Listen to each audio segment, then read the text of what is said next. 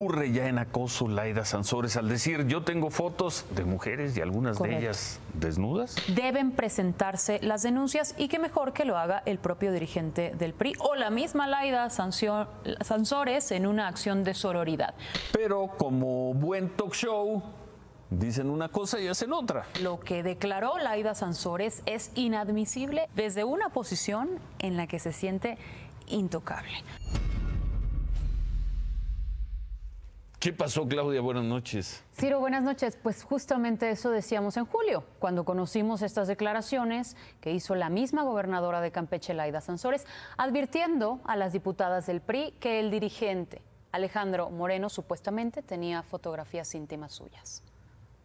Cuidado, diputadas, ¿eh? porque algunas de ustedes mandaron fotos en- de veras que, pues unas hasta desnudas, entonces pues se las mandan a Alito y Alito con eso las tiene, ¿no? Y creen que él las va a cuidar y, y que va a proteger esas fotos. No, no pueden intimidar así con, con este señor porque él no tiene escrúpulos. Así que pues es nada más una advertencia.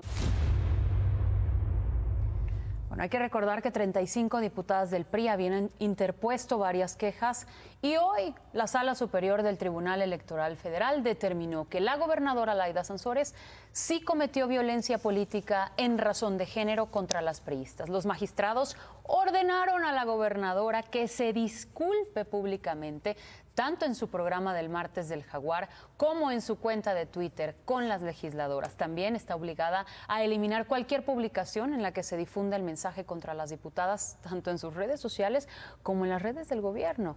De Campeche, por supuesto. Laida tiene prohibido emitir cualquier declaración que violente los derechos político-electorales de las diputadas. Hasta esta noche, la gobernadora Laida Sansores no ha dicho nada. Por cierto que el Nada más antes, antes de lo del viernes, Laida Sansores incurrió en violencia política de género.